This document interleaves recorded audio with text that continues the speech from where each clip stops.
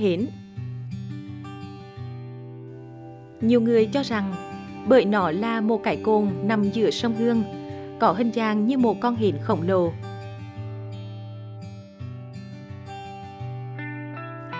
Nhưng đa số người Huế lại khẳng định là bởi người dân bao đời ở đây đều làm các nghề liên quan đến con hến dưới sông.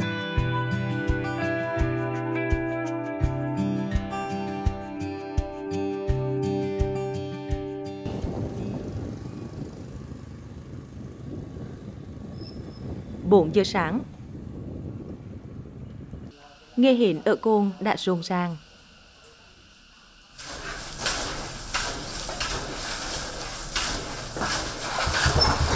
Những lò hến đã đỏ lửa từ giữa căn hai để kịp giao hến cho bàn hàng.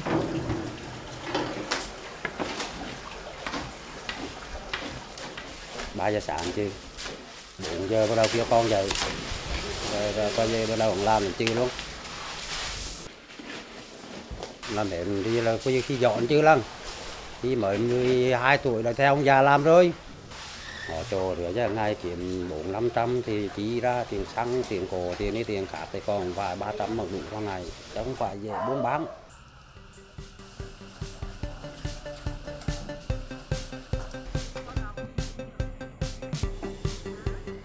Bên kia bờ đập đá, đò đã đưa hến sang sông. Những người bạn cơm hến quanh thành phố nếu ngài qua cồn xa xôi có thể đến đây để lấy hàng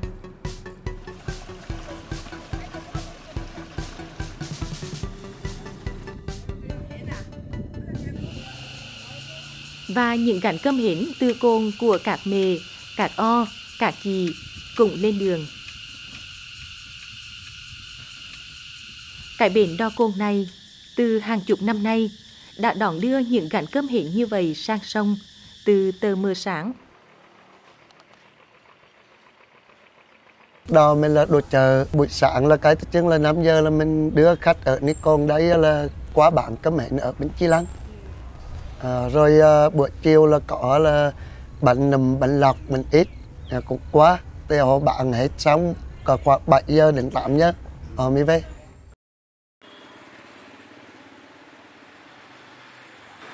Người xóm cồn lâu năm chủ yếu là dân lao động nghèo, bám lấy các vỉa hè với những gánh hàng rong buôn bán qua ngày.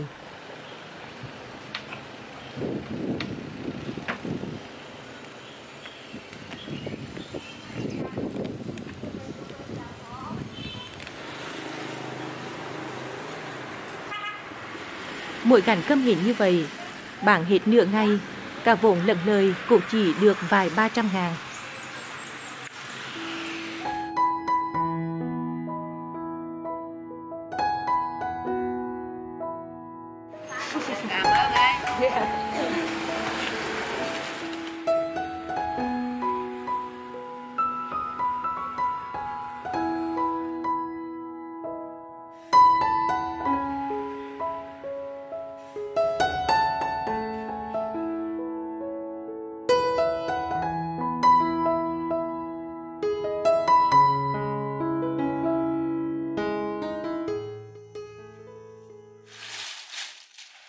Thì ờ, ở ờ, à, Cồn Hến ở đây thì ờ, vẫn ai cũng là cũng lao động phổ thông. Từng ba là họ. Về bạn cầm hến hai là lâm ốc.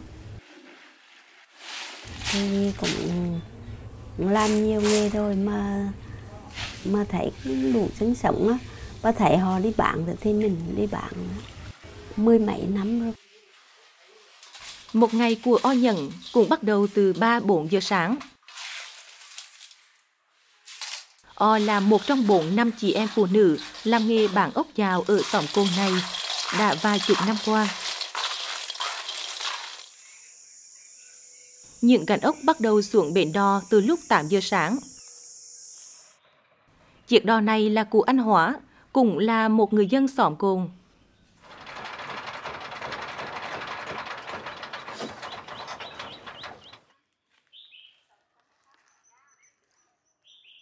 Đò của anh đón khách tại bến cồn, đoàn ngã ba sông này. Bến đổ sẽ là đập đá, hoặc các bến sông phía sau chợ Đông Ba. Rồi ba em chạy là cái năm 87 là đến giờ trừ luôn. Ba em mất rồi đến cho em chạy. Rồi công việc hàng ngày thì thường xuyên đi tới để có khách thì chạy tới. cái khách hàng của anh thì họ làm cái công việc gì Rồi họ đi bằng hến, bằng bình lọc, bằng ốc. Thì mấy người đi chờ rồi thôi. Họ thấy họ đi bạn quấn quấn rồi những đi vô trời sạp rồi rồi về về vậy à, bịch đăng đúng rồi nó gắn với nữa.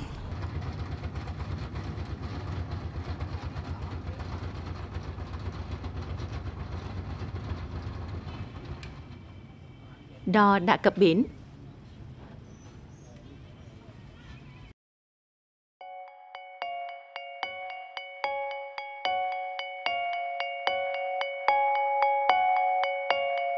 Mỗi gánh hàng, mỗi con người, một ngã đường mưu sinh.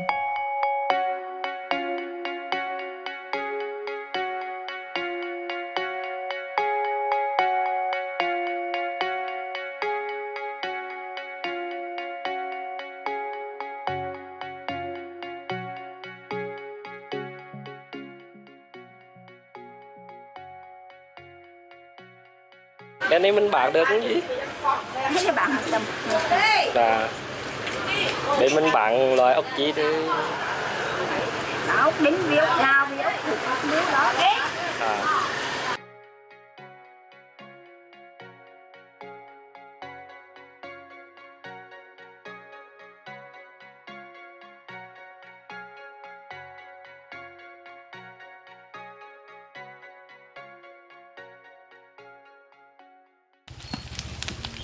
mình làm từ bà xã để bán á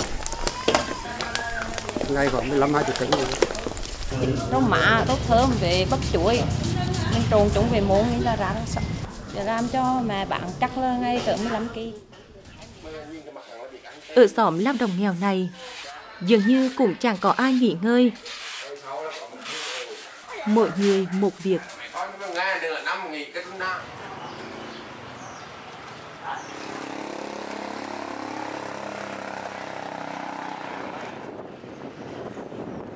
Gần giữa trưa, chuyến đò của chủ cư lại chuyển bến. Phía bên kia đang có người đợi. Một gánh hàng rong. Họ qua cồn lấy bắp.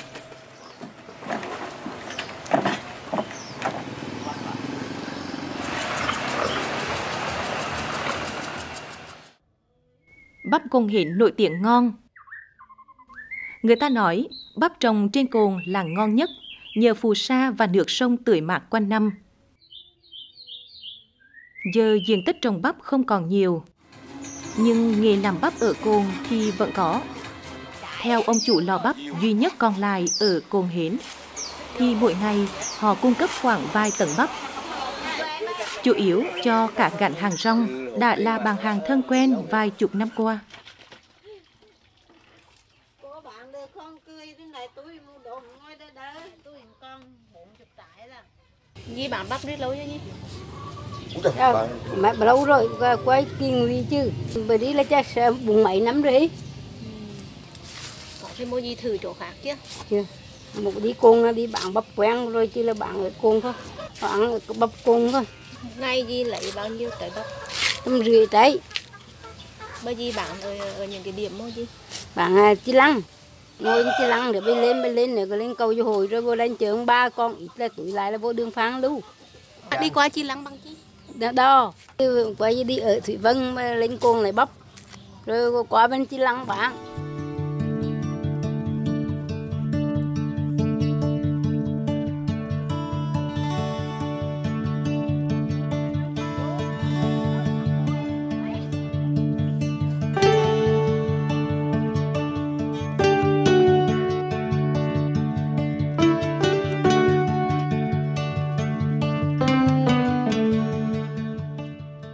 giữa lòng thành phố Huế. Có lẽ chỉ ở Cồn Hến mới còn tồn tại những bến đò như thế này.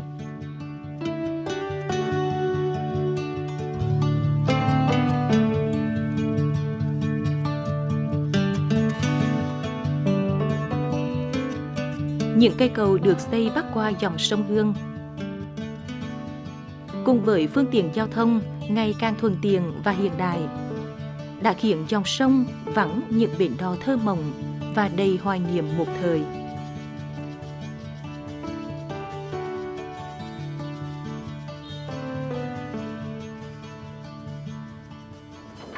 Năm ngàn một chuyến sang sông. Lấy tiền à?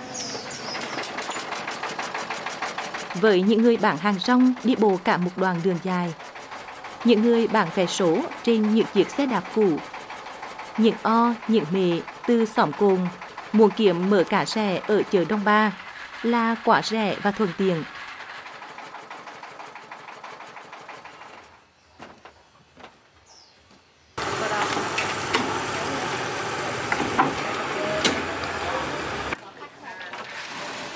Thì thoảng cũng có khách bạn lai hoặc người xóm cồn xa xứ lên đò tìm lại những hoài niệm xa xưa.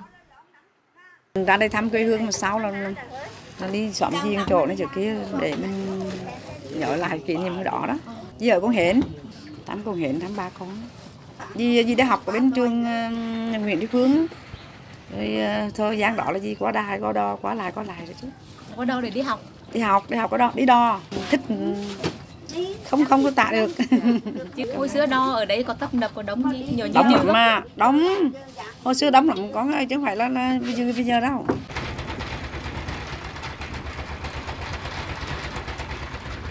Chuyện đò trưa của anh Hóa sang bến chợ Đông Ba. Cho chúng tôi gặp lại những cư dân sông nước một thời của xóm Vàng Đò Cồn Hến. Chủ là làm mà làm là đi đi đò đi làm gì á. Làm như là sông nước làm cả. Làm ở đây là từ đập tổ lắm lên về. Hai chủ là trước đây là ở đâu? Mà ở đi làm công hiện ở đây. Ở tại công hiện dạ. Bây giờ công hiện đầu ở tính đò và, và, đầu từ sông hương rồi và sau thời gian à, đi ra về để làm phụ mẫu là 10 năm rồi. Là làm nghề của anh khi một chữ cha sinh mẹ đẻ chữ rồi. Hai chủ là mình đánh bắt cái gì chủ mình tôm cả. tôm cả. Tôm cả với những như mà bùa à, mình bùa tiếng cảng to. À, những như bùa cả gãy rồi cả chèn rồi cả môi rồi cả lơ rồi đến nữa. Xong mà lên cái chỗ bến chợ Đông Ba làm chi chú? Bạn sống có ngày để dù đi ngay kiểm trăm trăm rưỡi. Thực ra hai chủ hồi xưa là ở Vàng Đo đến đây. Đó gốc lại cái môi chữ đấy cha sinh mẹ đẻ đấy thì tê vui lắm mà chữ buồn. Không có du lịch tiền có hơi vui. Nhưng mà đâu con cái tên là có đo quay vô thấy đẹp nhưng đây là cảnh đẹp đẹp hơn. mẹ chủ bán xong chưa? Xong. chủ bán xong chưa? Xong rồi. Được hôm nay được bao nhiêu tiền chú? Khoảng hai trăm này. Hai trăm. Con chủ được bao nhiêu? Tầm bảy tầm tám. Tầm tám ngàn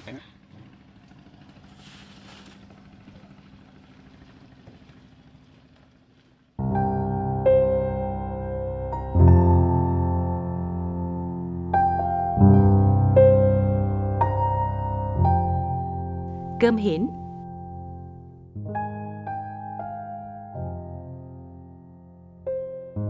Chè bắp.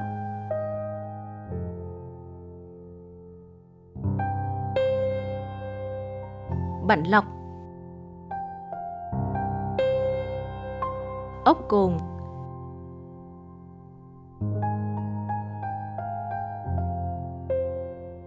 Và cả những cành bắp còn bốc khỏi thơm ngào ngạt.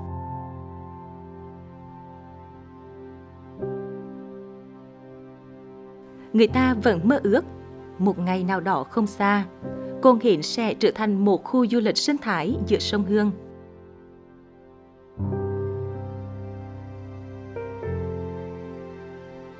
Nhưng có lẽ người xóm cồn chẳng dám mơ ước nhiều.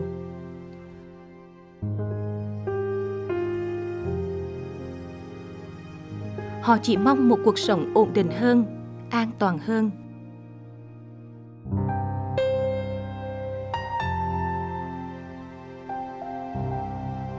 Để những lò hến mãi đỏ lửa.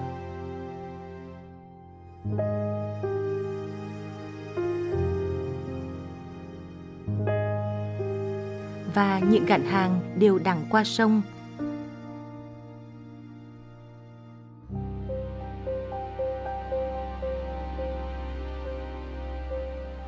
Buông may, bảng đắc